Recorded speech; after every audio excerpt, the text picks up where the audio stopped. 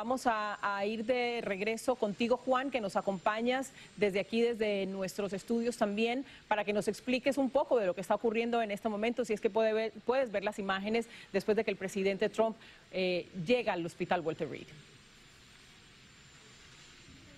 Juan. Sí, te escucho, Ilia. ¿Tú, Básicamente. el hospital, ¿nos puedes explicar Ajá. un poco qué es lo que está ocurriendo? Mira, básicamente lo que está ocurriendo ahora, vemos al presidente eh, que va a entrar al hospital. ¿Qué es lo que se puede esperar realmente una vez entra al hospital? Lo primero, signos vitales. ¿Cuál es la presión sanguínea del presidente? ¿Cuál es la oxigenación del presidente? ¿Cuál es eh, eh, la temperatura del presidente? Son las primeras cosas que tenemos que saber, que el presidente está estable. Obviamente lo vemos caminando, así que asumimos que esas cosas probablemente van a estar bien. ¿Qué es lo otro que quiero saber? Eh, marcadores de sangre que son importantes, importantes para entender el nivel de inflamación, entender cuál es el riesgo de posibles coágulos, eh, para así tratarlo de manera adecuada. Oxigenación es importante, como hablábamos.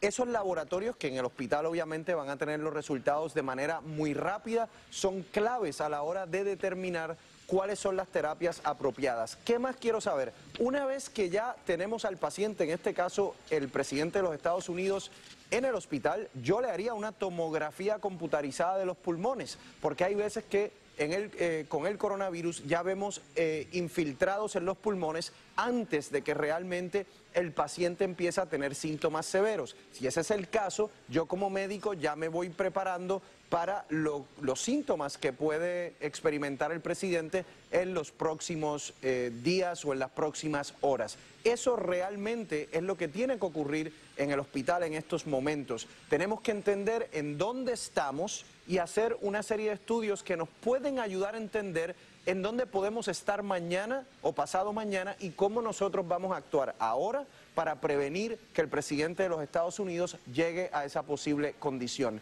Eso es lo que está sucediendo en, en estos momentos en el hospital. Tan pronto eh, el presidente pues tenga acceso a, a todos estos cuidados.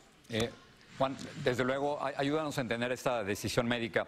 Melania Trump, 50 años, con, tos, con dolor de cabeza, se queda en la Casa Blanca. El presidente, de acuerdo con la Casa Blanca, tiene síntomas leves y a él lo llevan. Entiendo perfectamente que el presidente de los Estados Unidos es Donald Trump y no Melania Trump, pero a uno de 74 años sí lo llevan hombre y otra mujer se queda. ¿Por qué los hombres han sufrido más en esta, en esta pandemia? No sabemos realmente todavía, Jorge, te puedo dar la explicación que muchos científicos entienden que es la, posible explicación. Es que el, este virus, el coronavirus, necesita de unos receptores en las células para poder invadir la célula, empezar a replicarse en la célula y expandirse por todo el cuerpo.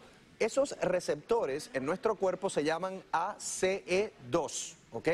¿Por qué en los hombres de manera más severa? Pues resulta, Jorge, que los científicos han demostrado que los receptores ACE2 están en una cantidad mayor en el cuerpo de un sí. hombre que en el cuerpo de una mujer. Y por lo tanto se sí, ha postulado que eso es una de las razones por las cuales en los hombres se puede dar una enfermedad más severa.